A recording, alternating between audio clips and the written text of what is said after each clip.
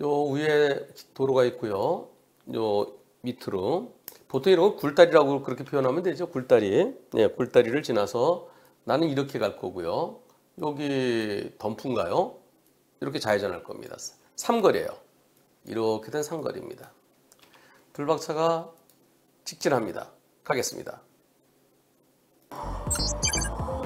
직진 가는데 와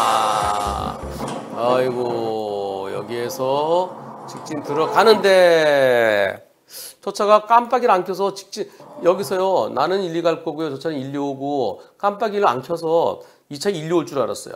그런데 으악 그래서 빵 했지만 늦었어요. 어, 이거 어떻게 생겼는지 여기 상거리인지 잘 안 보이시죠? 그래서 제가 로드뷰를 봤더니 이렇게 돼 있습니다 굴다리 지나서 이렇게 연결된 거고요 저 트럭은 이렇게 가는 거고요 왕복 2차로 도로 이번 사고 어떻습니까? 트럭 운전자가 좀 아유 좀 좀 좀 좀 서운하대요. 상대차는 깜빡이 안 켜고 들어왔고요. 아 상대차 아, 직진도 자, 좌회전도 할 수 있는데요. 깜빡이 안 켜고 오길래 아 직진하나 보다 싶어서 나도 직진하는데 갑자기 좌회전 하더라는 거예요. 빵 했지만 늦었어요. 아 근데 자기가 자기가 피해자래요. 그래서 내가 좌회전인데 왜 와서 들이받냐요. 자기가 피해자를 막 그러면서 나중에 뒤늦게 와서 몸은 괜찮냐고 그래서 아유 괘씸하대요. 어떻습니까? 투표해 보겠습니다. 아, 블박차가 더 잘못이라는 얘기는 한 분도 안 계시네요. 그렇죠.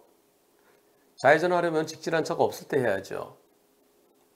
다만 트럭이 100% 잘못이냐 아니면 블박차도 좀 잘못이 있느냐 트럭 100% 잘못이라는 의견이 70% 불박차도 조금 잘못이 있다는 의견이 30%입니다. 아, 이 경우 저 트럭은 불박차를 못 봤을 것 같아요. 저 트럭 입장에서는 굴다리잖아요. 굴다리니까 굴다리에서는 트럭 입장에서는 불박차가 안 보였을 것 같은 생각도 들죠. 네, 이때 트럭 입장에서는 안 보였을 것 같아요. 그냥 근데 깜빡이 켜야지 깜빡이를.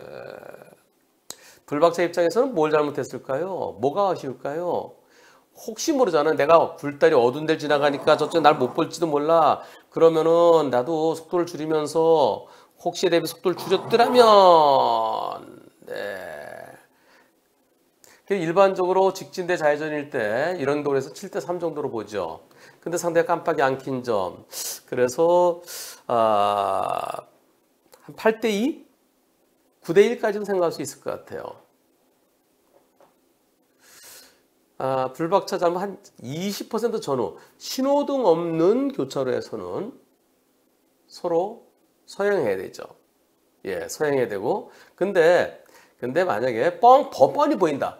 뻔히 보이는 길에서, 뻔히 보이는 길에서 여기서 내가 여기 오고 있는데 여기쯤 왔는데 상대가 여기에서 갑자기 깜빡이도 푹 꺾었다. 서로 보이는 곳에서 그랬다 그러면 100대 빵이어야 옳겠다는 의견입니다. 근데 지금 굴다리를 통과했기 때문에 상대 차에게 내가 안 보였을 가능성도 있다는 점에서 지역의 특수성상 그래서 불박차에도 한 20% 정도 과실이 있을 수도 있겠다는 의견입니다.